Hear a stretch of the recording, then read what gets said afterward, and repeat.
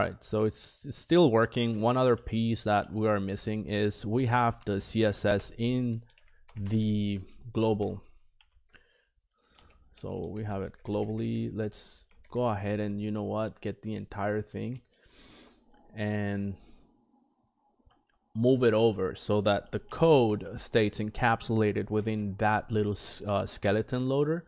Um, if you don't need it in the page, you don't need to load that code. So I always think it's a good idea to keep the code. And that's honestly why I love Vue.js because it, it allows you to keep your code uh, in little compartments, you know, so it's easier for you to, um, easier for the server and the website and the device to load everything when it's less things being loaded. That's always important. And like my friend, a German engineer says, um, even the big even even the small animals can make a big pile of manure. So that's a german saying. I don't know a lot about it but basically what it means is little by little you start adding up and this thing starts getting um, slow and slow and slow. And it's better if we keep it all within the same thing make sure that the loader is running. So you see this is what i mean. Usually like it takes a while for for yarn and under this setup it takes a while for it to load and run. Webpack would have been done already.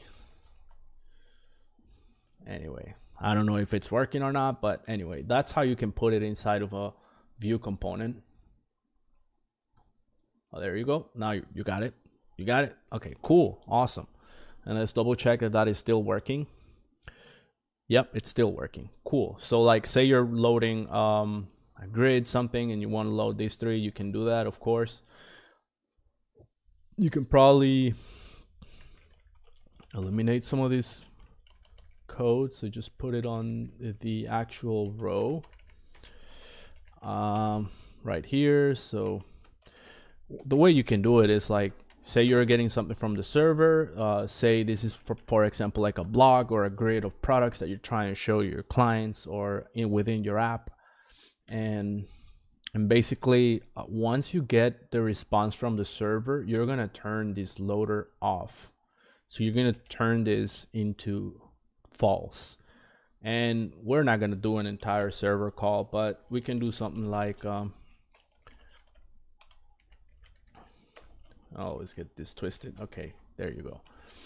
Uh, loading so like set loading state something like this. And then we'll be able to pass the state right here.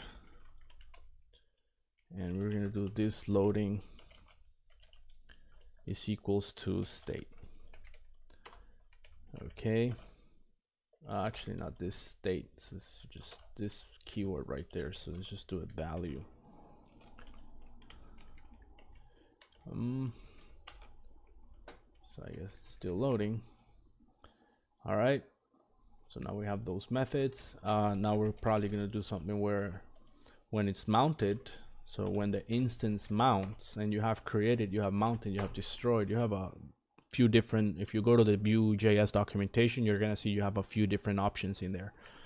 And we're gonna set timeout so wait a little bit so that we show that like sort of like uh, mimicking a server call. We're not doing a server call really and we'll wait like seven seven seconds. Actually that's too much. Five seconds. And we'll run this right there. Set. Loading state. And then we'll do false. So we're saying hey we want to uh, change this loading state to false after five seconds. And run. So it's hopefully doesn't look like it's formatted yet. So I don't know if that has to do with me recording the video and everything being slow or what it is. But anyway everything is still working. Everything is still in place. Let me just do uh, browser clear cache so so we'll make sure that that is empty cache and hard reload yeah so now it looks better there you go now now you colored everything the way I want it cool thank you I think it is the, the loader honestly webpack is a lot faster I'll do my next video on Webpack. I've talked so much about it that I'm gonna do my next one on how to set up Webpack for Laravel. All right, so yeah, that's it. So once this loads, hmm, it's a little slow. In the meantime, let me go and show you some of the other elements that are inside of the CSS. So that one has a square. So you see you have square, line, and circle. You can probably make your own triangle or, or rectangle if you want something. So we can actually make that right now. So if you want a rectangle, we'll probably make that like uh, 60 by 30, you know, something like that. And then let's let's do uh, right here. Let's do circle. Right here, let's do rectangle. Let's load it again and ah, still hasn't built. Okay, there you go. Ah, not good. But anyway, let's look at the circle. Why is it so small? It's probably the width and the height. Like they're they are very small. So if you do that and maybe increase this a little bit to 50 as well. And then if we go into the rectangle, that one was too big actually. So Let's make it 40 by 20. All right, so a little bit better, but you get the point. Like you, you'll have to play with it until you finally get the, the measurements that you want. Um, something probably you can make it a little bit more dynamic depending on what kind of content you have or you can create different components that have different loaders or you can create just different elements and then pass something like an option where you say, hey, I want the square, I want the circle, I want the rectangle as a property, and yeah, that can work. So let's see, uh, if the square is 30 height, so the square is 30 height, I want that 30, but I want that to be like 50 or 45 because obviously that one's too big or actually 40 so it looks almost like a square but it's really a rectangle. And basically what i'm trying to do is like the space. Uh, uh, it just takes playing a little bit with it but you'll get it. You see?